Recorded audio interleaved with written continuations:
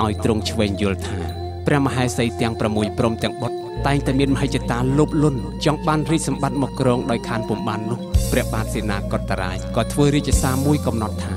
បើបុត្រអង្គណាមួយទៅរំដោះយកព្រះមាតុឆាកៅសមន្តាពីក្រុងកំផនបានបុត្រនោះនឹងត្រូវបានឡើងគ្រងរាជប៉ុន្តែព្រះរាជសាររបស់ព្រះអង្គត្រូវបានខ្លែងបន្លំជាថ្មីដោយព្រះមហេសីនិងបុត្រទាំងអស់ បញ្ឆោតសង្សិលជ័យឲ្យទៅជំនួសហើយពួកគេរងចាំតែទទួលយកផលតែប៉ុណ្ណោះ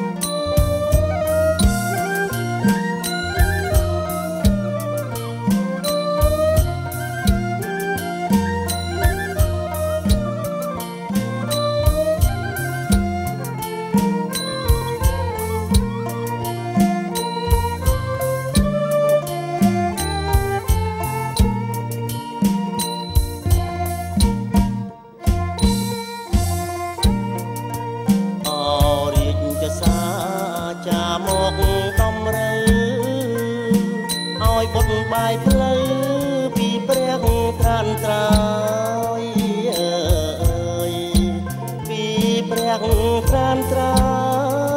យ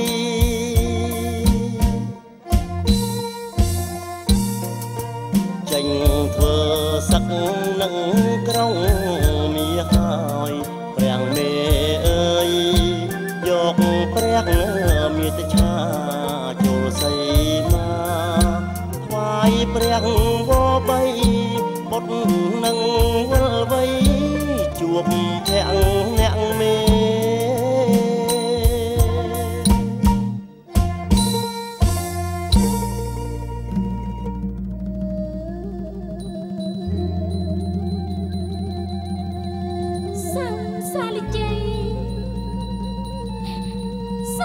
holiday!